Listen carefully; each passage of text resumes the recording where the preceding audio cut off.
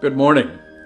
The best short story teacher ever is going to give us a study today drawn from everyday life. That's his style. Come and join with us as we study God's Word together.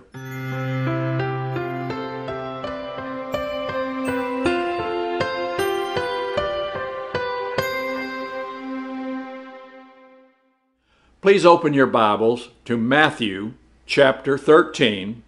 We will be looking at verses 1 through 23.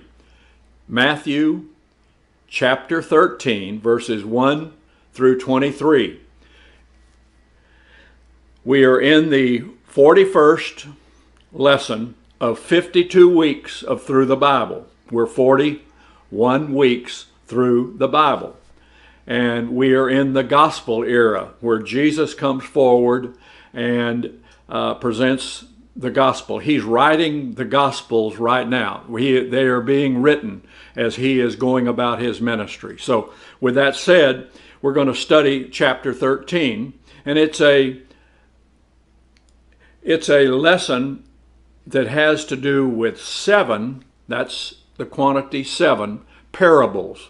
And we're going to pick the one, the most important one, and the one that is the foundation. Follow me on this. It's the foundation by which the other six are built upon later. It's the first one, but it is the foundation by which the other six will be built. Jesus is the greatest. I cannot say it enough that he is there there is none. I mean, I don't care whether you take Mark Twain, whoever it is that's your favorite storyteller, there's not a better better story teacher than Jesus was.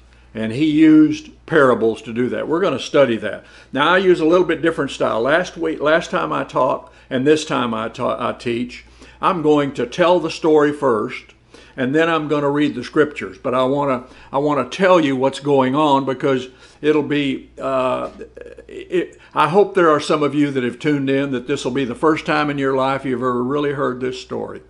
But Others will be very mature in it and have heard it many, many times. But I think they're little little pieces that through God's divine revelation we will we will learn anew and and have a better understanding of what Jesus is talking about and what does Jesus want to accomplish and how does he go about accomplishing it in this kingdom. So seven seven parables. Uh, and they are uh, applicable to the present age as well as the age in which Jesus was, was roaming about in, in the country of Israel uh, when he was here the first time. And he, uh, he uses an agricultural uh, venue by which he's going to speak and going to going to tell the story. He he either used he, he's so good at it. He used uh, cattle and sheep and uh, and coins and and uh, lost sheep and and fields that needed plowing and thorns and and thistles and things like that. So that was the that was the economy of that time. That was what gross national product was was the agricultural side of their. They had to do that to just live. So.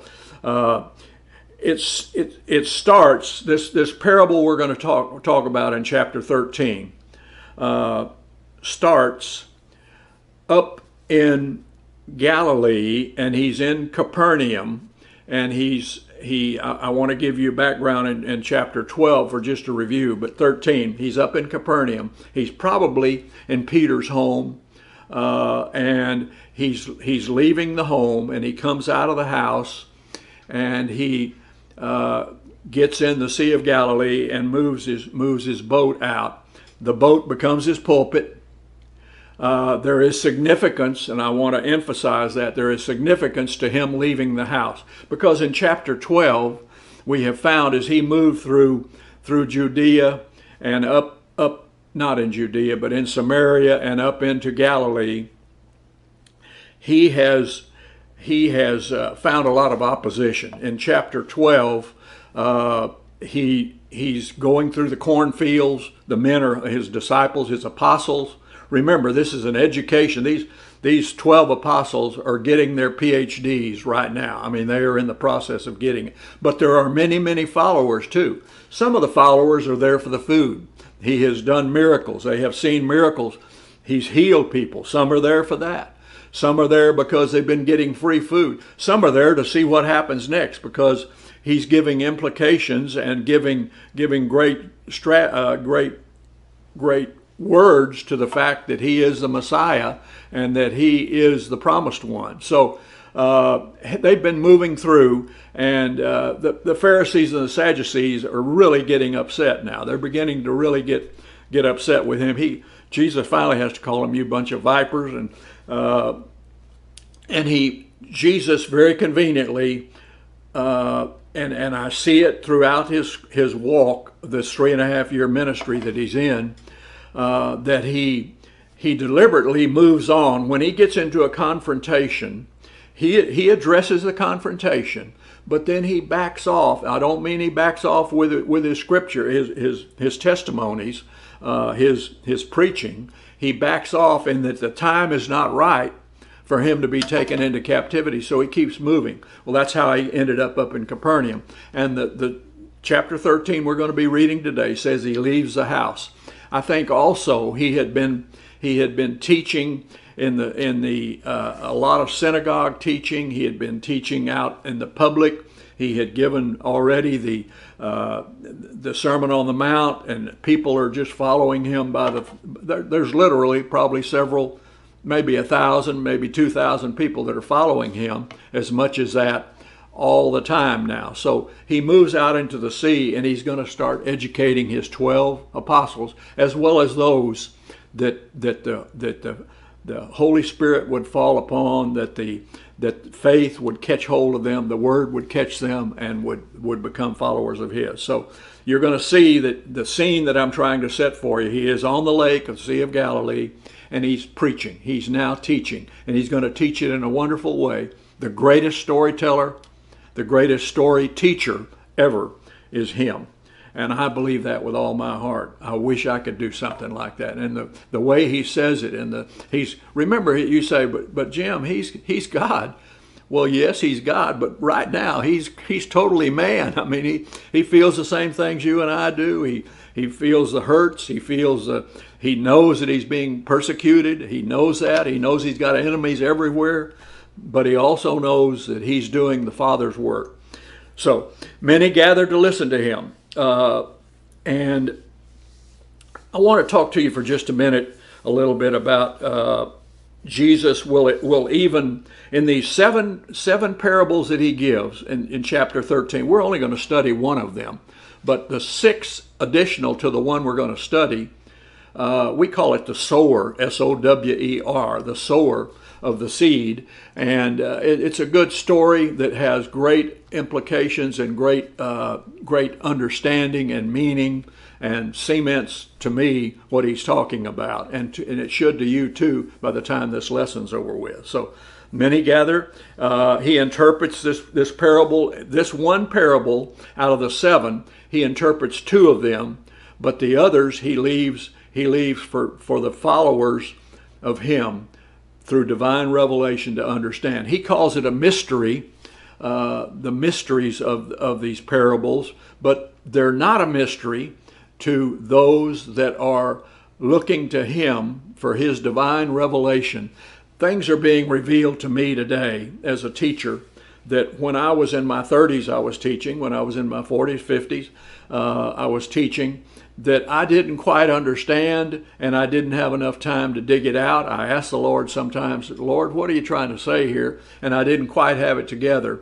But I, as, as I've gotten older and more and more it's being revealed to me by the Holy Spirit. So the same thing can happen to you. You've got to be hearers to be able to, to understand that. So uh, remember that the, that the other six are builders they're, they're on top of the one, the one foundation that we're going to be studying, the sower of the seed. Here, H E A R, is said 17 times to hear, or some form of hearing is said 17 times in chapter 13, just hearing. And we must hear God's word to to be able to have faith. You've got to hear it first.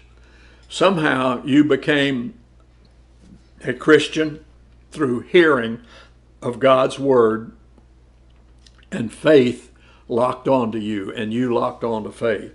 But in Romans 10, one of the sweetest and best things you should memorize, Romans 10 17, is faith cometh by hearing, and hearing by the word of God. Romans 10 17. Faith cometh by hearing, and hearing by the word of God.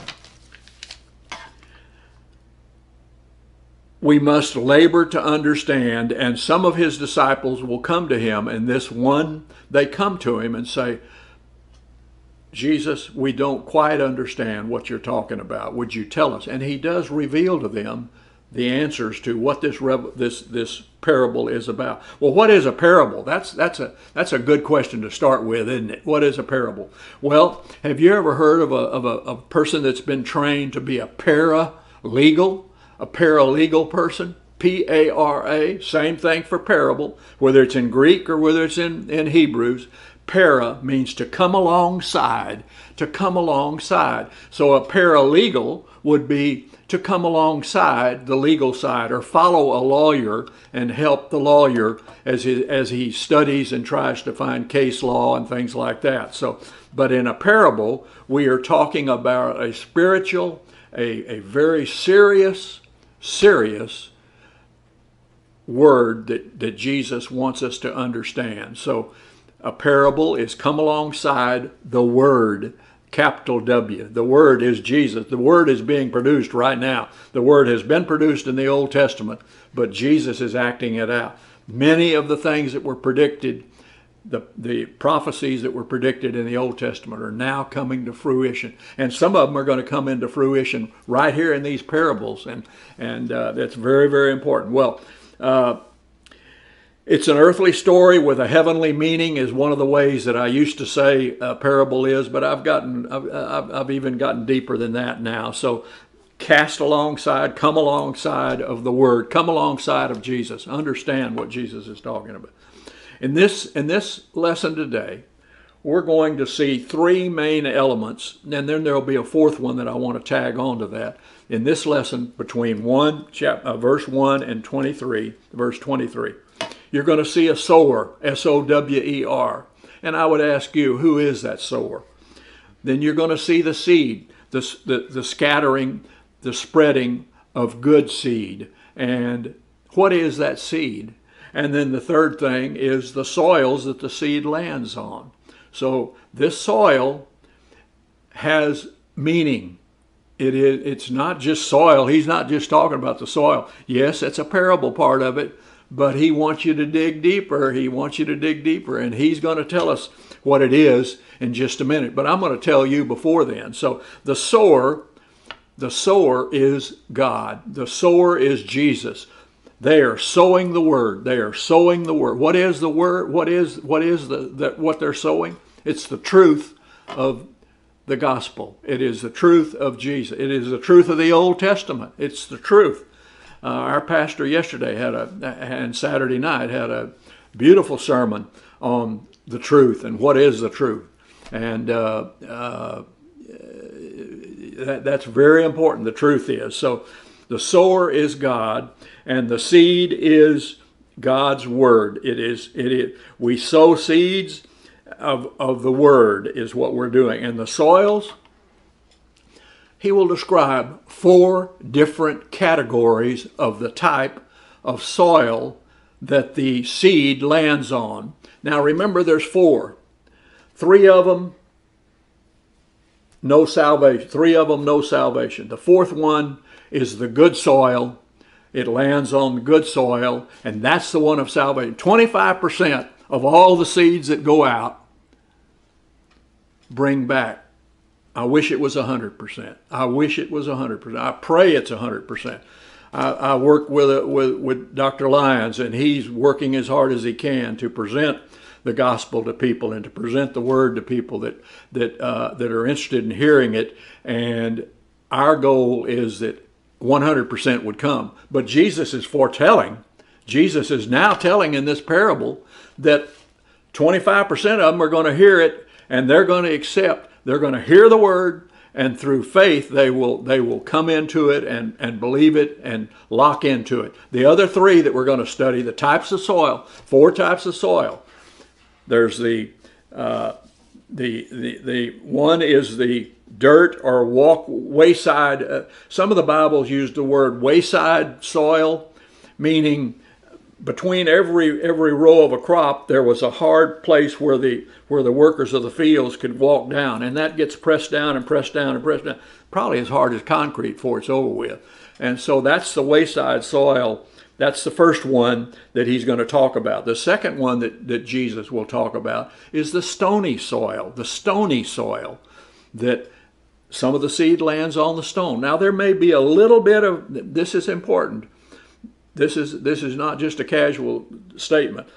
There may be a little bit of, of dirt, nutrient, for that seed to grab hold for a season. But then the winds come and the rains come and wash it all away, and he'll have a meaning for it. You're saying, why are you talking this way, Jim, with, with all these different symbols? Jesus will have the answers in just a minute. So uh, the stony seed uh, takes it does take root for a short period of time. It continue, it grows just a little bit, but then the wind comes along and blows it away. What's happened? Yeah, I've seen it time after time. They come to our Sunday school class. They're so excited. They're wanting to ask questions. They'll be there for a season and then they just disappear. That's what he's talking about. That's the one he's talking about. The third one is the thorny soil that's choked out. It, it chokes out. You get you get thorns and weeds and the soil the seed can't can't live through that. And that's another jesus will expand on that thorny soil in a minute. Remember three three soils no salvation. The fourth one is the good soil. It's a converted heart. It hears the word faith moves in and he's genuinely saved. Uh, and then there's there's there are he will explain that there are three levels of product, productivity that come out of a believer's heart. And this, this good soil, he will say in the parable, that there is productivity that comes out of the good soil. And what is that productivity?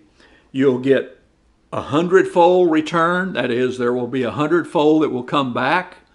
That's good. That's great. That's wonderful. That means that, that when I'm saved, that I possibly could give a 100% return to, to others that would also follow and and there's a there's a way that Jesus is talking about it. It really has to do with with the uh, fruits of the spirit that that he he's talking about the fruits that are produced by the, this productivity. So one of them is a hundredfold, one of them is sixtyfold, and one of them is thirtyfold. There is no zero. Jesus does not mention zero. For if you and I, are, if you and I are saved, you're not going. You you would genuinely, yes, there will be works, and yes, after you're saved, not before. The works aren't, aren't going to get you anything other than once you become saved, you'll want to you'll want to do the work. So, uh, J. Vernon McGee said that uh, who, who's a pastor out of California that's now passed on, but I certainly respect him and, and looked at his. Back in the days of Jesus, it was said that uh, that when you put a good seed in the ground, you could get as much as five to six times return on that seed. That is, your crop would come up and it would produce five to six times as much crop Today, he, J. Vernon McGee says, because of the fertilizers and the chemicals that, that kill the bugs and things like that, they get at least 10 times uh, the return on that seed being developed, seed, seed go, coming to harvest. So there is no zero. I, I want to make that very clear to you. Now, what I, I want to ask you, and, and you need to really seriously uh, look at this as you as as I say these things to you. In Galatians chapter 5, verse 22, there are seven fruits of the Spirit. And those are what produce this return, this, this 60 fold, this, this 100 fold, this 30 fold. It doesn't re- re- return no fold, it returns 30, 60, and 100. What are they? And you think for yourself, how am I doing in this? What am I what am I leaning toward? What do I not lean toward? Galatians, the fruit of the spirit. First is love. Do you have love? That was a hard one for me to come to in my young life. I had uh, been through some things that have nothing to do with with this lesson at all. You could care less about about, about what I went through, but uh, but the point is that love came hard for me. But God has shown me love. That's the first fruit of the Spirit. When I show love to others, it returns, it, re, it gives me a return. It gives a return, not to me, but to the kingdom and to the person that received that love. There's joy, there's peace, there's long suffering, there's gentleness, there's goodness, and there's faith. My faith will grow because of the fruit of the Spirit. And if I show that faith to others, they too will will grow, and then then that's where we get the, the 30 fold, the 60 fold, and the 100 fold. So I hope you understand that uh, as as we go on into the lesson today. So now I'm going to read from here on. You'll be reading God's Word. I'm reading from the New King James, and it's it's in this chapter 13 of the book of Matthew, verse 1. I'm, I'm starting in verse 1. On the same day, Jesus went out of the house and sat by the sea.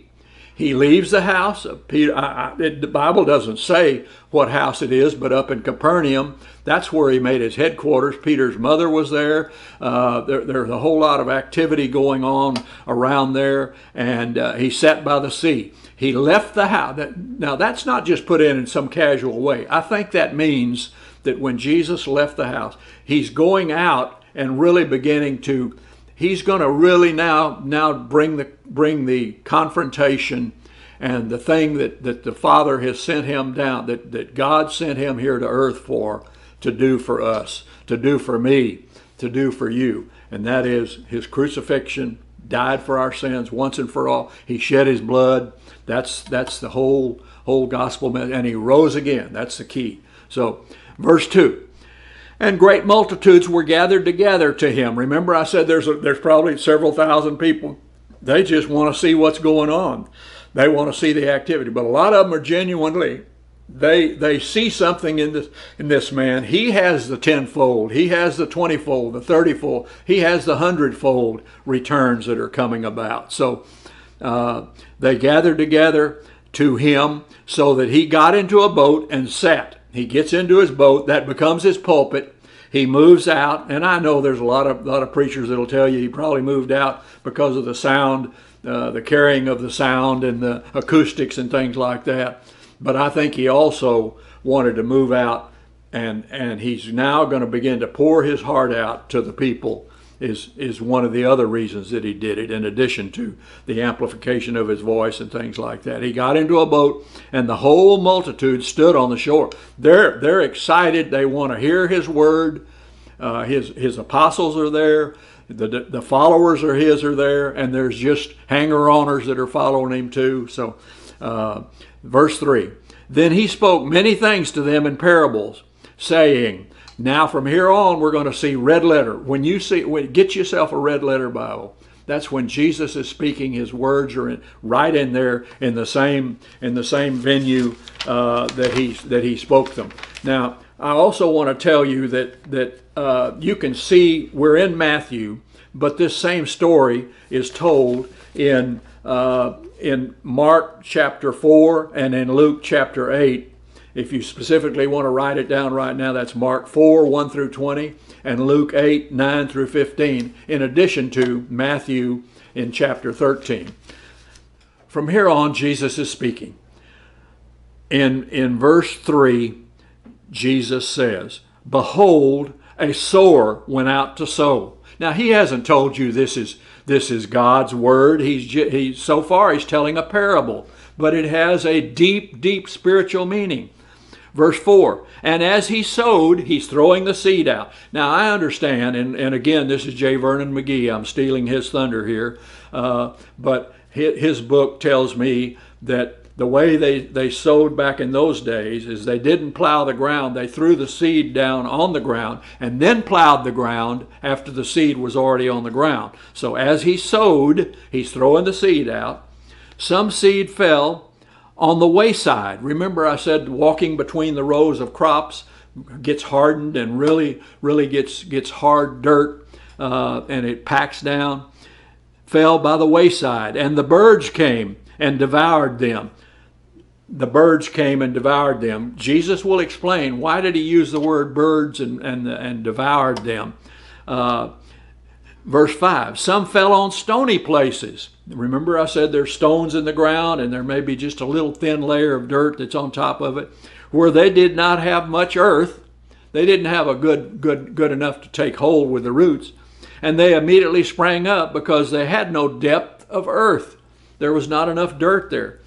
Verse 6 But when the sun was up and they were scorched, these, these young plants, these new plants that are coming up, the crop that's coming up, and because they had no root, they withered away. They're gone.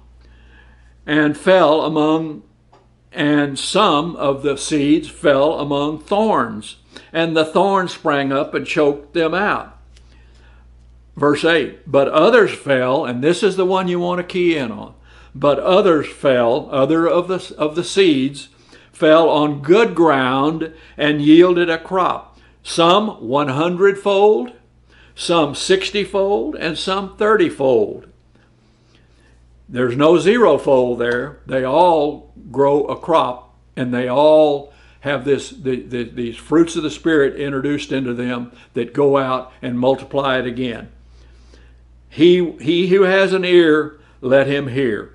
Luke says, uh, uh, how you hear is the important thing. And Mark, I like the way Mark said it. Take heed what you hear from here on. Take heed what you hear is what Jesus is saying.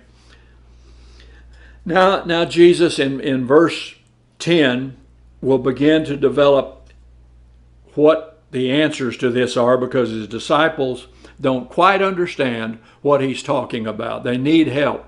They're not quite there yet. They're not mature enough yet to understand it. And remember, he's pouring a PhD. These men are fishermen. They are they are great men, good good men. My son has an electrical contracting business and he has electricians working for him.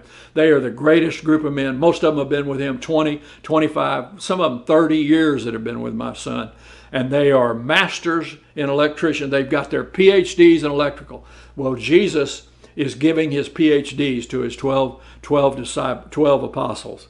And those 12 apostles are going to carry on because Jesus knew he's leaving this earth and he needed them to be, be fully educated on what, on what, these God, what the gospel is and what, who Jesus is and how you, how you get salvation. And the disciples came to him. This is verse 10. And the disciples came to him and said, Why do you speak to them in parables? Jesus again is going to answer in, in 11. He answered and said to them, red letter from here on, because it has been given to you to know the mysteries of the kingdom of heaven, but to them that have not been given, that it has not been given, for whoever has, to him more will be given, and he will have abundance. But whoever does not have, even what he has will be taken away from him. When you don't get it, you're going to lose everything. You think you got it, you think you're living a good life without Jesus, without God, without even wanting to darken a church, wanting to, to know more about Jesus. You haven't seen it. You think you got it now, you're going to lose it. You're going to lose it. This mystery is a spiritual truth. This is what this is what Jesus meant when he said the mysteries of the kingdom of heaven. It is a spiritual truth which is understood by divine revelation. It's understood by those that are on the inside, that have the faith, that are growing and studying the Word. As I said earlier, please remember what I said with regard to things were not revealed to me when I would read the Word when I was a young man. I, I would try, but I didn't quite have it. And I would study and study. And as I've studied more and more and more, each time something gets revealed to me new. That's why we need to hear the Word. You don't need to hear this parable one time. You need to hear it 25 times, 50 times. The whole, the, all the Gospels that way. So it is a divine revelation understood by those on the inside who learn and obey the word of the Lord. That's how it, that's how it works, my friends. So, uh, verse 13 Therefore I speak to them in parables, because seeing they do not see, and hearing they do not hear, nor do they understand. Verse 14 And in them the prophecy of Isaiah is fulfilled, which says, Now Jesus is going to quote from the book of Isaiah, this book of promises from Isaiah. So many promises, so much prophecy of what's going to happen in Isaiah. And he's quote Jesus is quoting Isaiah himself in the old from the Old Testament. This is 700 years before Jesus came. But here's what Jesus is saying. Now listen to this. Hearing this is Isaiah's word on in uh, Isaiah 6 verses 9 and 10. Hearing you will hear and shall not understand. Parable, parable, parable. And seeing you will see and not perceive. Verse 15 For the hearts of this people have grown dull. Their hearts are dull. They have not accepted the word. They don't want to hear the word. They may come to church because mama dragged them, or on Easter they may walk in the church house and they're sitting there and saying, When is this going to be over with? So, for the hearts of the people have grown dull. Their ears are hard of hearing, their eyes have been closed, uh, lest they should see with their eyes and hear with their ears, lest they should understand with their hearts and turn, so that I should heal them. So that I should heal them. Who is that I? That I is the biggest capital you ever did. It's Jesus shall heal them. Some are hardened, so words do not even make an impression on them. It gets snatched away. Hear, but they fail to act.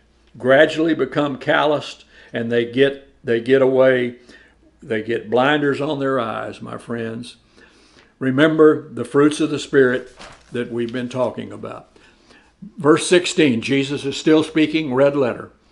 But blessed are your eyes that you for you see he's saying to the, the apostles that are standing there with him, saying, We didn't understand. He said, Blessed are you because your eyes you see, and your ears, for they hear. Most 17.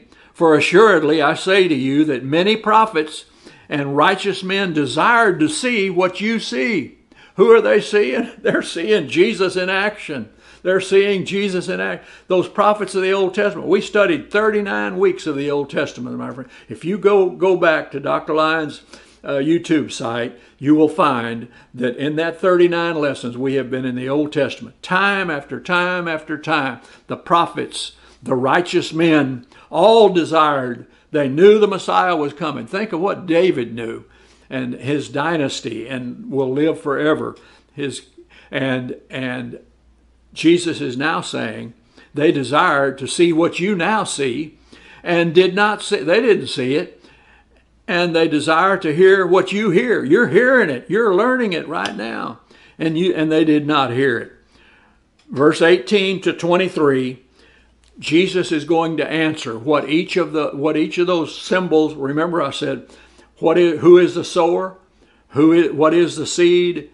And what is the soil? Jesus is about to answer that. Verse 18. Jesus is speaking. Now for now therefore hear the parable of the sower. When anyone hears the word of the kingdom and does not understand it, then the wicked one comes and snatches away what was sown in his heart. In other words, the person hears the word, but the distractions, the, the hardening, the hardness, there's no penetration, and the devil likes to snatch it away. It's it, it the heart conditions vary, and this is he who receives seed by the wayside.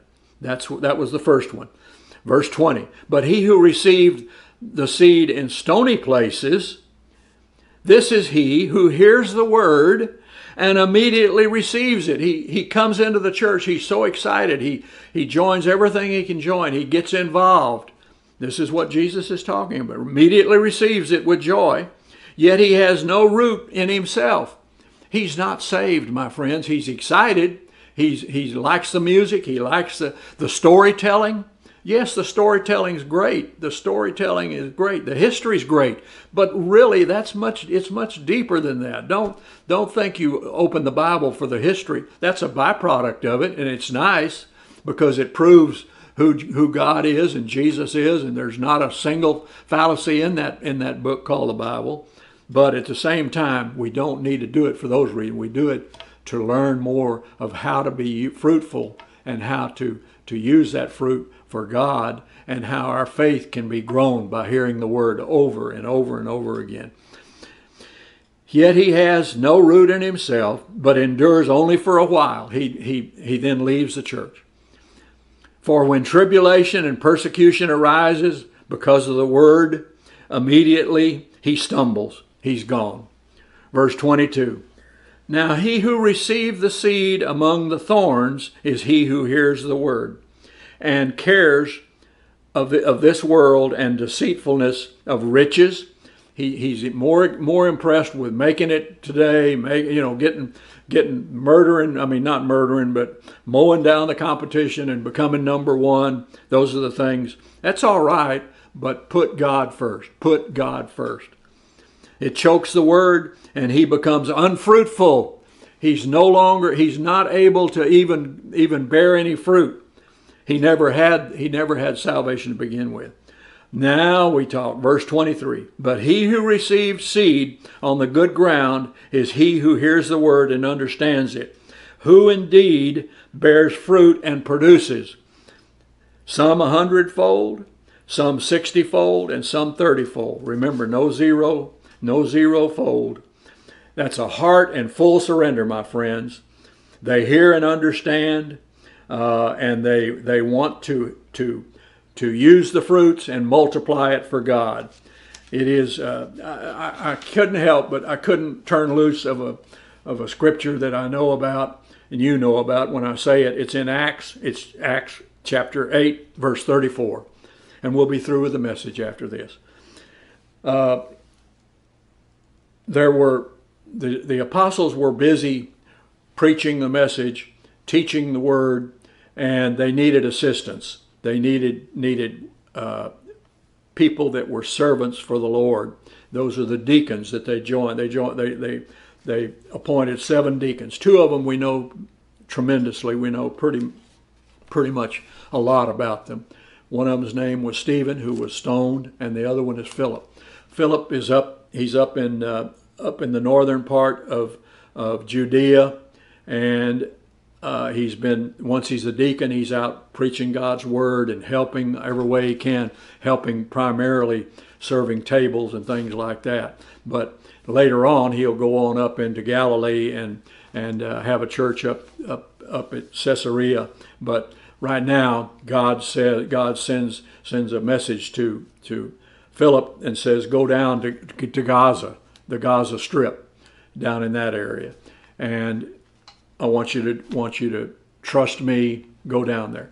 Well, there's a as he gets down there, there's a Ethiopian eunuch that is that is leaving Jerusalem, headed back to Ethiopia, obviously, and he's he's got an entourage with him, and he uh, is stumbling with with words from the Bible, and uh, and he can't he doesn't have the answers to it, and God put Philip right there at the time and place. And Philip says, How can I help you? And, and the man says, What does this mean? He leads the, the Ethiopian eunuch to, to follow Jesus, to, to believe in Jesus. And the man says, Well, why can't I be, be baptized right now? And Philip says, Nothing's stopping you. Let's get you baptized. So the baptism did not save him. Don't think that. It is the it is faith coming into him. He heard the word. Philip was using his fruit and it was being multiplied. That's the multiplication. then that Ethiopian eunuch will be a better man and will be able to, to develop his own faith and develop the word, and then he will multiply also. So, to sum up today, the devil does whatever he can to make sure that the word does not take hold in, in, in people. That's what the devil's trying to do. Next week, you're going to have a great another parable, another parable. Dr. Lyons is going to going to it's it's a wonderful story. It's called the prodigal the prodigal son and you will enjoy it very much. So remember what what parables all are about. God bless you. I'm glad you tuned in today to see us. I hope it cements into your heart and you go out and use your fruit too. Thank you.